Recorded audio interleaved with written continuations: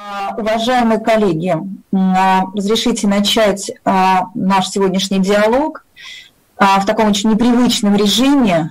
И на самом деле в течение этих трех месяцев много что по-другому открылось для нас, для всех, и в профессиональном сообществе, и в нас самих на самом деле, и среди наших коллег, и наших пациентов.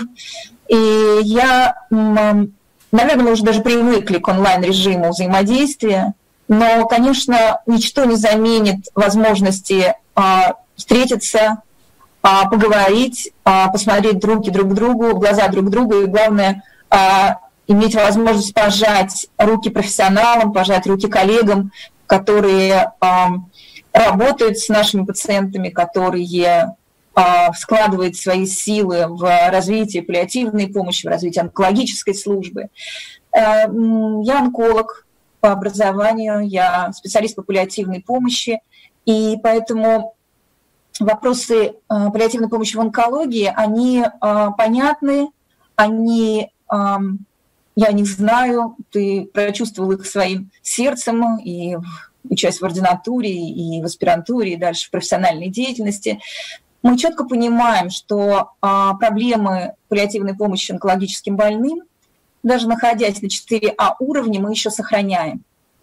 А 4А уровень – это уровень, который говорит о серьезных накоплениях, накоплениях различных ресурсов для того, чтобы сделать последний шаг и быть на уровне развития этого вида помощи наравне с э, европейскими странами, странами с э, и Австралией, и Канадой. Это те страны, которые за последние десятилетия а, так развернули паллиативную помощь, а, что грустно смотреть и понимать, что с одной стороны грустно, а с другой стороны понимаешь, куда идти и понимаешь, что нужно еще делать.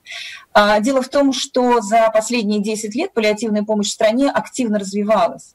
Но если говорить о паллиативной помощи в онкологии, к сожалению, коллеги, она не изменилась практически за последние пять лет ни в амбулаторной, ни в стационарном э, ключе, ни в ключе э, изменения доступности в э, специализированной помощи. И это наш серьезный шаг, который мы должны сделать. Основными целями э, сегодняшнего моего доклада будет разговор о необходимости а, интеграции паллиативной медицинской помощи в специализированное лечение для того, чтобы улучшить продолж... и, а, а, продолжительность жизни и качество жизни наших пациентов. А если говорить о тех шагах, которые сделала паллиативная помощь в стране, то нельзя говорить, что мы только сейчас стали развиваться. Эти ресурсы, которые мы имеем, они накапливаются. А, уже десятки лет, и впервые в 90-х годах было открытие первых хосписов. Это организации, которые ориентировались только на помощь онкологическим больным в конце жизни. И это очень логичный и правильный этап развития паллиативной помощи, помощь умирающим онкологическим больным. И здесь колыбелью развития хосписной помощи в стране был, конечно, Санкт-Петербург, Андрей Владимирович Гнездилов, Питер, э, хоспис в Лахте, э, хоспис, который первым принял в стране онкологических больных а, в терминальной стадии своего состояния, в терминальной стадии своего заболевания. И далее, буквально в течение 20 лет, именно хосписная служба и паллиативная онкологическая служба на базе онкологических диспансеров открывались паллиативные онкологические отделения, которых сейчас практически чуть меньше двух тысяч коек а, в стране, которые а, по данным мониторинга и по данным статистики предоставляются как койки онкологические паллиативные. Это и койки в Белгородской области, в Брянской области, в Смоленской области. Это койки, которые есть в Крыму, в Астрахани, в Татарстане, в Чувашии, в Новгородской области, в Санкт-Петербурге, в Калмыкии, в Челябинской области. Это большая, большая армия медицинских работников, которые а, а, заботятся, помогают онкологическим больным, и не только стационарно, но и в амбулаторном ключе, например, как в Татарстане. И онкологические паллиативные койки зачастую не имеют роли э, хосписной терминальной помощи А в некоторых местах, например, в том же Татарстане, она больше интегрирована в систему специализированной паллиативной медицины, специализированной помощи онкологическим больным. Но коллеги, к сожалению, а, в течение последних пяти лет ни одна койка онкологическая не произошел прирост в онкологической службе и не произошло существенных изменений, как я уже сказала выше. А, начиная с 2012 года в стране развивалась, активно развивалась паллиативная помощь, накапливались ресурсы, но для неонкобольных. Сейчас мы говорим об акценте помощи на дому, выездными структурными подразделениями. Мы понимаем, что только в стационарных организациях оказать качественную, доступную и достойную помощь невозможно. Поэтому мы говорим о помощи в амбулаторных условиях. И в 2019 году у нас произошли серьезнейшие изменения. А уже два года, три года страна получает дополнительное федеральное финансирование на развитие паллиативной помощи, на закупку лекарственных препаратов, на закупку медицинских изделий. В 2019 году был создан федеральный научно-практический центр паллиативной помощи Минздрава России на базе Сеченовского университета, который, целью которого являются организационно-методические мероприятия, организационно-методическая поддержка регионов и разработка вместе с регионами региональных программ. И в 2020 году, к сожалению, а, жизнь так сложилась, и ситуация, что мы не развиваем паллиативную помощь, и мы этот год в нашей службе немножечко потеряли а, в связи с а, пандемией, в связи с распространением новой коронавирусной инфекции. Мы даже видим снижение коек паллиативной помощи, уменьшение объемов работы выездными службами, но мы об этом еще сегодня немножечко будем говорить. А, что же сейчас паллиативная медицинская помощь? Коллеги, мы видим серьезнейшие изменения, начиная с 2019 года в связи с изменениями в федеральном законе 323 об охране здоровья граждан Российской Российской Федерации. Мы говорим теперь о паллиативной помощи не только как комплексе медицинских вмешательств, но и по факту, по, по факту подходе, а, который объединяет и медицинские, и психологические, и уходные, и, главное, меры социальной поддержки. А этот вид медицинской помощи сейчас должен оказываться совместно с волонтерскими организациями, с родственниками пациентов, с религиозными организациями. И еще важно, что паллиативная помощь теперь делится на первичную и специализированную. И вот как раз первичная паллиативная помощь и подходы а, паллиативной помощи – это та цель, которая а, будет реализована в связи с интеграцией в специализированное лечение, в том числе в онкологическое. Уважаемые коллеги, серьезные изменения. А что же в итоге с изменением законодательства, чем же в итоге является иными простыми словами паллиативная помощь для наших пациентов и для профессиональных профессионального сообщества.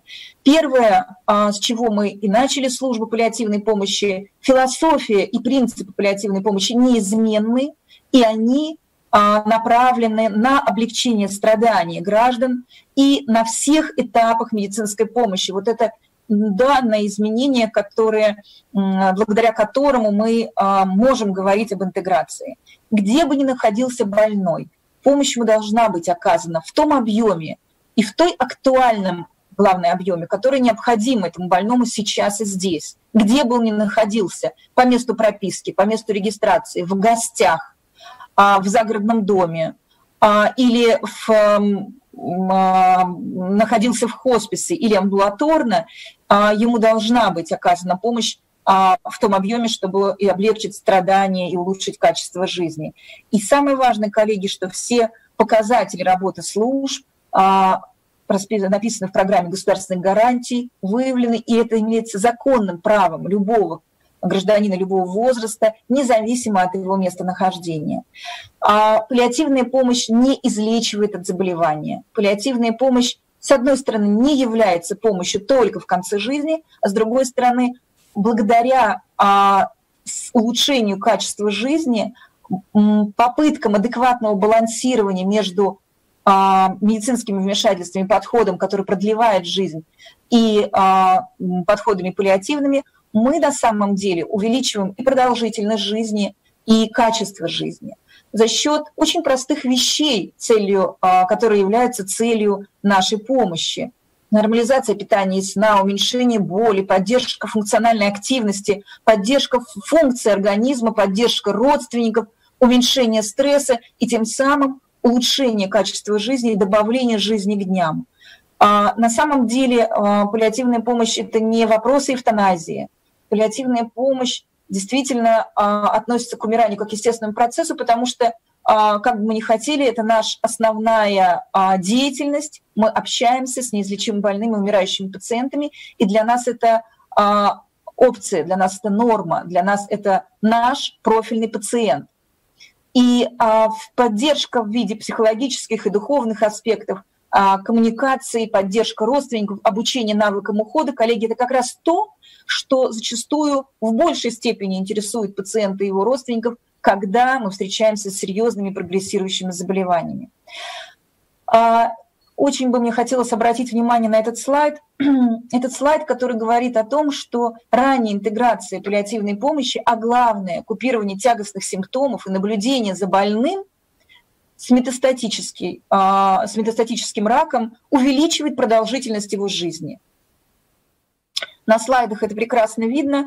А если говорить о а, привычном сейчас и уже вошедшем в жизнь электронном мире, электронном э, образе жизни, то веб-мониторинге, электронном мониторинге симптомов, когда пациент может, э, э, находясь э, у себя дома, находясь без стресса общения с медицинским персоналом, у которого мало времени, у которого много дел, которые строго спрашивают, что же вас беспокоит, скажите сейчас, и пациент выбирает самое острое или, возможно, то, что он думает, что врач может с чем справиться, не говоря о каких-то более мелких и, по его мнению, менее важных а, ситуациях в данный момент. А, вопросы мониторинга электронного, когда пациент отвечает на, а, без ситуации стресса на вопросы и отмечает свою симптоматику, увеличивает выживаемость пациентов. А, обратите внимание, пациенты в процессе химиотерапии – пациенты не терминальные, не онкологические, а пациенты, получающие специализированное лечение. Если у них есть возможность а, пожаловаться, отметить свои именно тягостные симптомы, и главное, это будет обратный ответ, эти симптомы будут корректироваться, мы видим статистически достоверное улучшение общей выживаемости среди пациентов с метастатическим раком в этой группе, когда есть а, мониторирование. Второе исследование – а, веб-мониторинг симптомам в рутинном наблюдении после лечения рака легких в двухлетнем выживании. Обратите внимание, насколько данные а, серьезные, насколько это важно для как профессионального сообщества, так и для самих пациентов, учитывая, что наличие паллиативной помощи не всегда удорожает процесс, а зачастую процесс менее экономически более выгоден. И сейчас мы об этом будем говорить.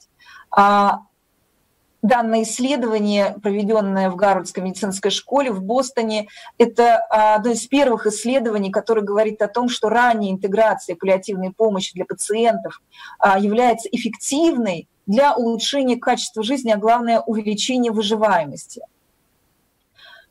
А, Еще исследование, которое говорит о а, очень интересном проекте, это двухнедельный контроль за симптомами, а, электронное а, мониторирование пациентов и, главное, поддержание функций и купирование симптомов. Пациенты после трансплантации а, клеток костного мозга, пациенты в течение двух недель получали поддерживающую терапию по сравнению с группой контроля. И сравнительный эффект паллиативной помощи, обратите внимание, красным цветом выделены эффект, э, статистически достоверный эффект и по качеству жизни, и по уменьшению тревожности, и по уменьшению депрессии, и главное, по уменьшению тягостных симптомов. Важно сказать, что а, на графиках видно трехмесячные результаты после всего лишь двухнедельного контроля симптоматики. Обратите внимание, и качество жизни, и тревожность, и депрессия также остались а, в достаточно положительном тренде. Единственные тягостные симптомы, они, конечно, требуют постоянного контроля, и двухнедельного контроля не хватило, хотя, обратите внимание, все равно эффективность лечения лучше.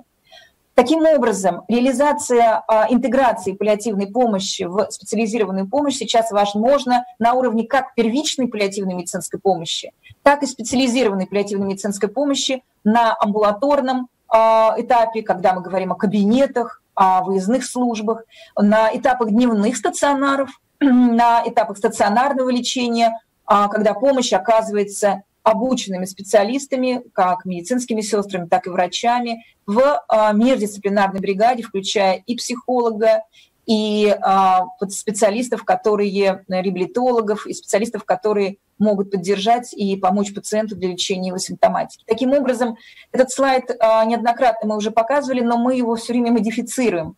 А в каком смысле? Обратите внимание, сейчас согласно как законодательству, так и всей нормативно-правовой базе не на уровне федерального закона, мы а, можем сейчас говорить о том, что в нормативно-правовом поле паллиативная помощь может быть реализована а, на уровне требований, на уровне определений Всемирной организации здравоохранения интегрироваться в специализированное лечение, иметь социальные услуги, поддерживать пациентов психологически и духовно.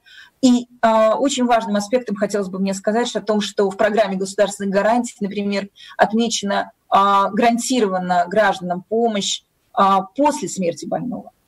Соответственно, меры, меры поддержки а, семей пациентов и близких пациентов после утраты – это важный аспект гарантированной программы государственных гарантий. А, два года мы говорим о вот этой, впервые в 2018 году на онкофоруме «Белые ночи» мы представили вот эту модель галстук бабочки. Канадское исследование говорит о том, что в онкологии жизнеспособна и востребована именно интеграция помощи буквально с начала лечения вместе с поддерживающей терапией, и далее к траектории помощи выходит или на этап реабилитации, или раздваивается на этап а, помощи в конце жизни. Коллеги, именно в таком виде а, наша большая цель а, интегрировать новый вид медицинской помощи в специализированное лечение онкологических пациентов. Сколько же больных нуждается в паллиативной помощи? По данным Минздрава, в Российской Федерации более миллиона пациентов нуждается в паллиативной медицинской помощи, как первичной, так и специализированной. И чуть более полумиллиона человек – это люди последнего года жизни, которые умирают в этом году и нуждаются в помощи а, специализированных паллиативных служб. И такое же количество, если не больше, это люди, которые не умирают в этом году, нуждаются в помощи первичной паллиативной медицинской. Мы вряд ли их даже увидим в первичном в службе выездной а, или в иные иных подразделениях, оказывающих специализированную медицинскую помощь. Пациентами с различными формами злокачественных образований – это пациенты, которые а, имеют право на оказание паллиативной медицинской помощи. Приказ 345 5Н и 372Н Минздрава России 2019 года – это приказ, объединяющий а, два порядка оказания помощи взрослому населению и детям, а, положение об организации оказания помощи, которые не только говорят о а, стандартах оснащения, правилах работы, но и о правилах как межведомственного взаимодействия при оказании паллиативной медицинской помощи, в том числе онкологическим больным, так и определяют медицинские показания к оказанию паллиативной медицинской помощи взрослым. Уважаемые коллеги, обратите внимание, медицинские показания, утвержденные приказом Минздрава, делятся на общие и частные по группам заболеваний или состояний. К общим показаниям относятся ухудшение общего состояния физической или когнитивной функции на фоне прогрессирования неизлечимого заболевания. А неблагоприятный прогноз развития заболевания, несмотря на оптимальное проводимое специализированное лечение, снижение функциональной активности пациента, определенное с использованием шкал, потеря массы тела более чем на 10% за последние 6 месяцев. И всего лишь два или более медицинских показаний из общего перечня общих медицинских показаний являются основанием для того, чтобы подумать и а, перейти к обсуждению с пациентами определенных нозологических групп. А, если нас сейчас слышат онкологи, активно работающие онкологи, обратите внимание, вот эти первый пункт, все, все ли пациенты онкологические, именно терминальные, относятся к этой группе пациентов? Конечно, нет. Если говорить о частных показаниях по группам заболеваний в состоянии, вот пункт 2, вы видите на слайде в верхней левом части экрана, это медицинские показания к оказанию паллиативной помощи взрослым при различных формах злокачественных новообразований. Обратите внимание, наличие метастатических поражений – при незначительном ответе на специализированное лечение или при наличии противопоказаний к его проведению, наличие метастатических поражений центральной нервной системы, а, а, легких, обратите внимание, это большая часть наших больных и наличие боли и других тяжелых проявлений. То есть мы а, говорим о том, что большая часть пациентов, которые еще получают специализированное лечение, имеют медицинские показания к оказанию нашего вида медицинской помощи. А, в приказе определены и другие группы заболеваний, а, сейчас я не буду на них останавливаться. А логично ли то, о чем мы говорили? Правильно ли то, что мы обсуждаем, что паллиативную помощь можно предложить пациентам и нужно предложить пациентам, имеющие те проявления, о которых я говорила выше? Что вот этот слайд, мы, его, мы прекрасно знаем, а, медианы выживаемости при метастатических а, опухолях различных а, форм. Мы понимаем, что выживаемость зачастую не большая, но продолжаем специализированное лечение, естественно, пытаясь реализовать попытки продлить жизнь пациенту. Но если говорить о прогнозах, и подтверждать э, медицинские показания, которые прописаны в приказе Минздрава России, хочу обратить ваше внимание. Посмотрите на слайд метастатический рак мочевого пузыря, молочных желез, плоскоклеточный рак шейки матки, колоректальный рак. Посмотрите медианы выживаемости. А большая часть пациентов, о которых мы говорим, представлены на слайде, это люди, которые проживут год и менее. И, соответственно, это люди, которые имеют и, возможно, имеют и болевой синдром, и другие тягостные симптомы – тревожность, беспокойство. Это пациенты, которые потеряют массу тела, это пациенты, которые имеют снижение функциональной активности, и пациенты, которые имеют метастазы в центральную нервную систему, в легкие печень. А, коллеги, это серьезный аспект, о котором стоит говорить, а, и мы не обсуждаем прекращение специализированного лечения ни в коем случае на фоне проводимого паллиативного лечения. Если говорить о функциональной активности – и это а, практика а, онкологов, оценка состояния по шкале ИКОК или по а, индексу Карновского. Обратите внимание, третья, четвертая а, стадии степени ИКОК, а, три от 1 до 3 месяцев выживаемость больных, медиана выживаемости, индекс Карновского. Посмотрите, и а, мы видим этих больных зачастую на консилиумах, мы ставим такой индекс больному, а значит, мы должны с вами понимать, что это полностью согласовывается и с медицинскими показаниями, и что важно, коллеги, согласовывается в том числе с а, рекомендациями АСКО на а, оказание помощи онкологическим пациентам а, в плане паллиативной помощи. Зачем нужна паллиативная помощь? Для того, чтобы улучшить качество жизни, уменьшить симптоматику. Очень важный аспект – это уменьшение агрессивного лечения пациентов в конце жизни. Когда а, междисциплинарная команда врачей-онкологов, а, врачей-химиотерапевтов, врачей паллиативной помощи а, принимает общее решение в планировании дальнейшей тактики ведения больного, координирует пациента – обсуждает прогноз на лечение, прогноз на заболевание и самое важное, обсуждает те а, возможности предоставления лечения, которые должны быть а, пациенту предоставлены. А, приносит ли паллиативная помощь вред больному? Ни одно исследование не говорит о том, достоверно, статистически, о том, что у пациента или уменьшается прогноз на жизнь, или уменьшается продолжительность жизни, или уменьшается надежда. На самом деле а, надежда пациентов на излечение остается в той же степени, а, когда а, мы предлагаем ему поддержку и совместное ведение вместе с онкологами. Очень важным аспектом для современного здравоохранения является снижение стоимости специализированного лечения при подключении паллиативной помощи. Новые строгие рекомендации АСКО говорят о том, что каждому пациенту, рак которого прогрессирует и является метастатическим, стандартно должно быть предложено одновременно специализированное и паллиативное лечение. И паллиативная помощь должна быть начата в течение 8 недель с момента установления диагноза. Всего два месяца на подготовку к переходу к паллиативному этапу. А с этой целью необходимо реализовывать некую концепцию, конечно, нужна периодичность а, наблюдения за пациентом. Исследования говорят о том, что это всего лишь час в месяц на одного больного для того, чтобы а, реализовать ему помощь и паллиативную поддержку и перевести на паллиативную помощь и направить к паллиативным специалистам. Информирование, оценка симптомов и ведение пациентов. А если говорить о российской действительности, коллеги, первое, пациентам с злокачественными новообразованиями на поздней стадии, тем пациентам, о которых мы говорили выше, имеющими те медицинские показания, которые отмечены в приказе Минздрава России, или имеющие индекс Карновского или ЭКОК в тех а, цифрах, о которых мы обсуждали, 3-4, то мы должны говорить о том, что пациенту в медицинской документации следует отметить, что он нуждается в паллиативной медицинской помощи.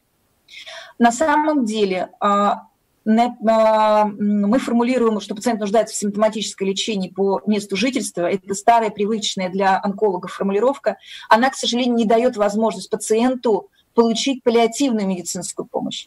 Поэтому мы просим вас обратить внимание на, на то, что в медицинской документации на данный момент актуально писать именно нуждается в паллиативной медицинской помощи.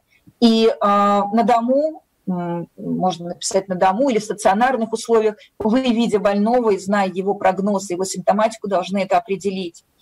И а, организовать возможность консультирования еще в процессе специализированного лечения, предложить пациенту эту помощь, выездными службами, кабинетами паллиативной помощи, проконсультировать у главного нештатного специалиста. Но этот вопрос должен быть подниматься и решаться. Определить маршрут больного при возникновении неотложных состояний. Зачастую выписывая пациентов с метастатическим раком, а домой под симптоматическое лечение по месту жительства, пациенты не ориентированы на возможное развитие неотложных состояний и на свой маршрут в этом случае вопросы компрессии спинного мозга. Как мониторить больного, а, на что обратить внимание пациенту и его семье, и какое лечение нужно начать принимать с первых часов возникновения первых симптомов компрессии спинного мозга, например. Анемия, а, нутритивная поддержка. Если у пациента наложены дренажи, стомы, стенты, если у пациента выраженный болевой синдром, это те а, неотложные состояния, которые а, возникают практически у 100% пациентов онкологического профиля. И, к сожалению, люди ищут путей. И вот именно этот вопрос всегда усложняет а, помощь как паллиативную, так и работу онкологов. Люди не знают, куда идти, и а, анкетирование, они обращаются в фонды, они обращаются на горячие линии. А, медицинские работники очень удивляются, когда происходит звонок с Москвы, о каком-то обычном пациенте, родственник которого ищет возможности в интернете и находит горячую линию а, Федеральный Росздравнадзора или горячую линию фонда Вера или горячую линию других благотворительных фондов. И медицинские работники зачастую расстраиваются и даже обижаются на пациентов а, за, за то, что те а, выносят ссор из избы. Коллеги, нет информации, куда идти, поэтому люди идут на, на электронное интернет-пространство и находят то, что находят направлять на консультацию к специалистам. Любого пациента, который имеет злокачественную солидную опухоль четвертой стадии, который имеет рак легкого, который имеет а, рак поджелудочной железы, который имеет а, метастатическое поражение центральной нервной системы, метастатическое поражение костей, ориентируйте на службу паллиативной помощи в их регионе.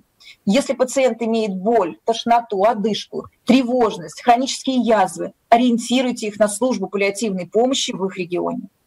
Какими способами а, возможно взаимодействие с пациентами и членами их семей? А, во-первых, пациенту с злокачественным образованием должна быть оказана по месту его нахождения, а помощь в лечении тягостных симптомов и в коррекции тех проявлений, о которых мы говорили выше. Медицинские сестры, социальные работники, посещение, телефонные консультации. Сейчас в условиях распространения коронавирусной инфекции мы видим, насколько дистантное на мониторинг за пациентом тоже эффективен. А исследование, которое говорит 2004 год, о том, как пациенты оценивали качество оказания помощи. А, и самое высокое качество помощи а, полторы тысячи человек сказали, что отлично помощь оказывалась в хосписе. А, обратите внимание, не в госпиталях, не на дому, не а, в специализированных койках или на сестринских койках, а именно а, в хосписных службах, когда пациенту проводили все вещи, о которых мы говорили выше, и подход был реализован.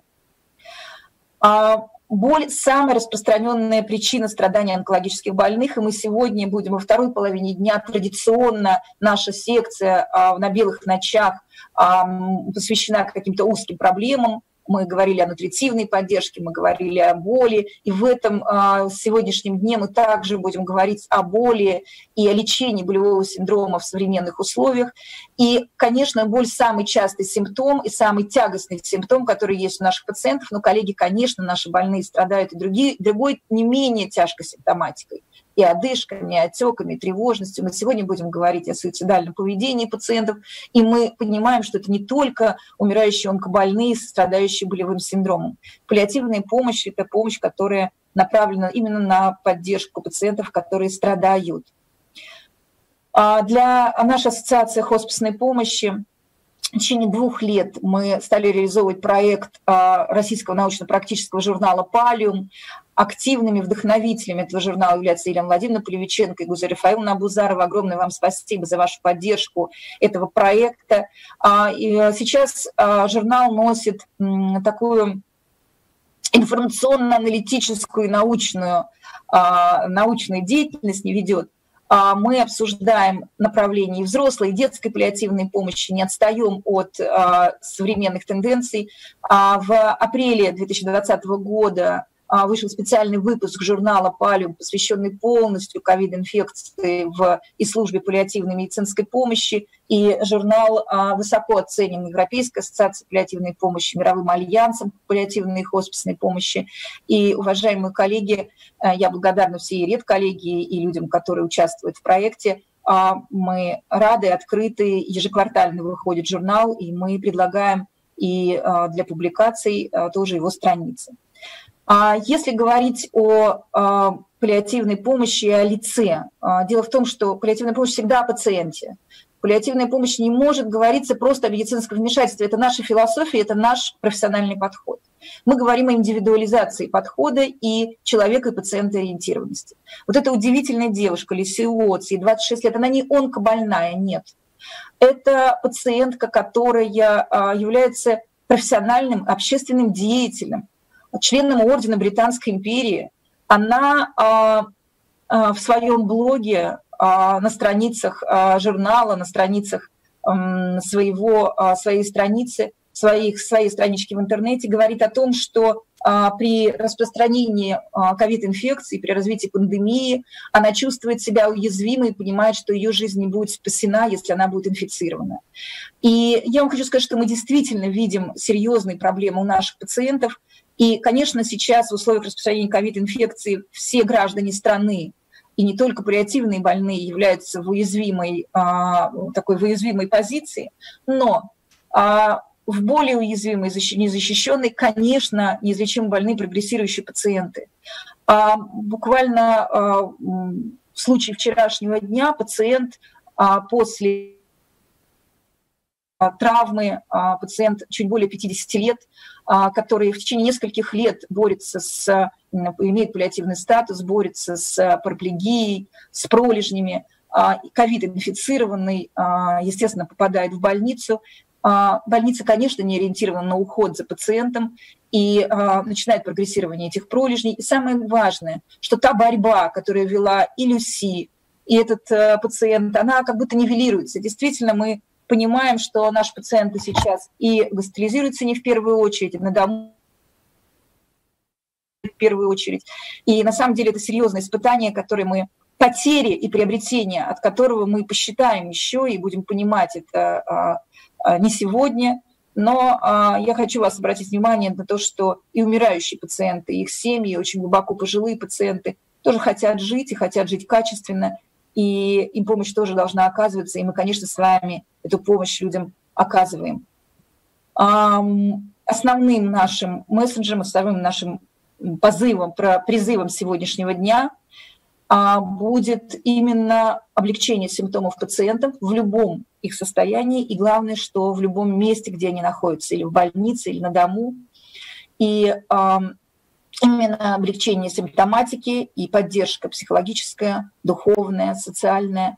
Это та комплексная помощь, которая а, необходима как профессиональному сообществу, так и медицинским сотрудникам паллиативной службы, в частности, пациентам, их семьям.